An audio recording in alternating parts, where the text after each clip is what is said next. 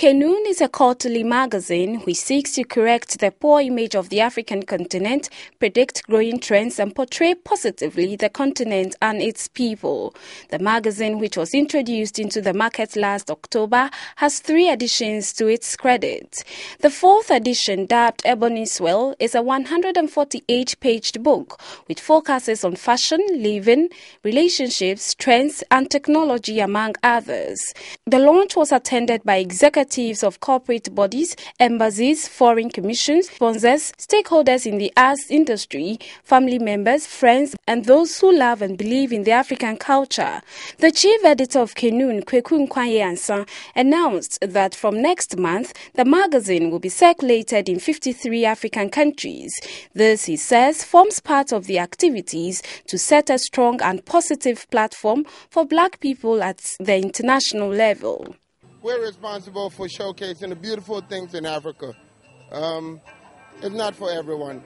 Canoe will never be for the masses, but it's to introduce a wake, a renaissance, you know, a birth of a new people who are concerned with building the continent, um, keeping their culture values, um, developing them because it has to be dynamic. The business director of Ideas Blueprint Advertising Agency, publishers of Canoe, Sifa Gohoho, said patronage in Ghana has been encouraging even though it has an international touch, sometimes making it look foreign. She spoke about some of the new features that have been introduced into the fourth edition. We got more editorially strong, we got professional writers to write with us, so all the articles even though they are very much similar to the last edition, they're more professionally written, and so the content is very strong.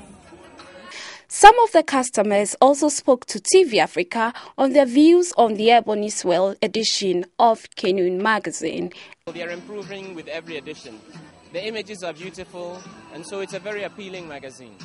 I think this magazine has really put in a big effort in terms of um, exposing different companies, you know, to the people in Ghana who need to know more about the different industries that are doing well.